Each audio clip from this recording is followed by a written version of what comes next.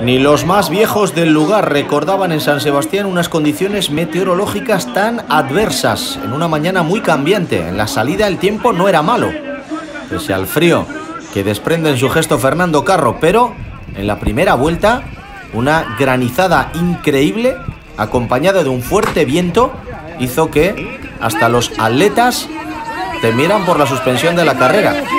Imposible grabar en esa primera vuelta a duras penas podíamos tenernos en pie.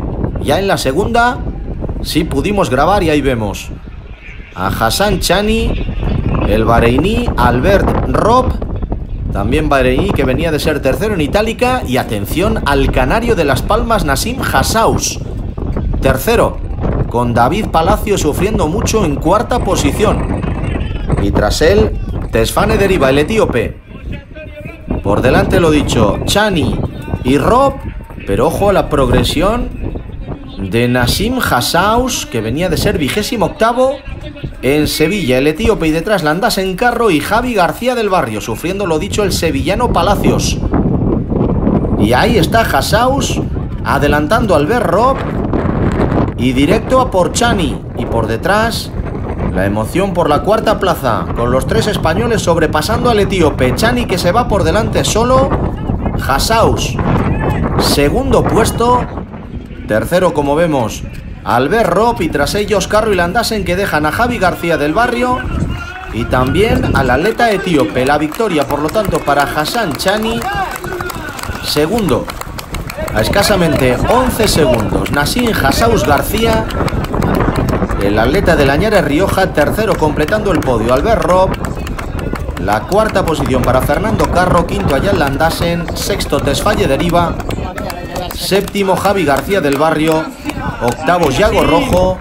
Noveno Javier Nagore y décimo, lo dicho, sufriendo hoy mucho la revelación de la temporada. David Palacio. Hoy la revelación sin duda, Nassim Hassaus.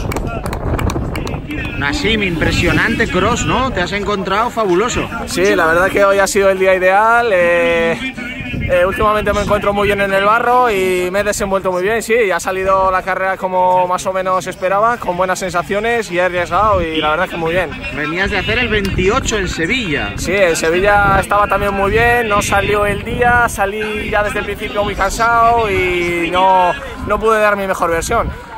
Enhorabuena, Nassim. Muchas gracias, muchas gracias. Séptimo y prácticamente asegura el trofeo a Noc, al español más regular de la temporada, el palentino Javi García del Barrio. Bueno, Javi, vaya cross dantesco, ¿eh? ¿eh? La verdad que ha sido supervivencia pura y dura. Eh, parecía Mérida del año pasado de campeón de España de, campo a través, peor, dicen por aquí. Y, y yo creo que, bueno, a partir de la granizada que nos ha pegado, yo me he quedado helado. Iba que no, no podía doblar las piernas y con un frío terrible como estoy ahora. Y bueno, al final hemos podido llegar a meta y gracias a Dios sanos y salvos. Gracias, Javi. Nada.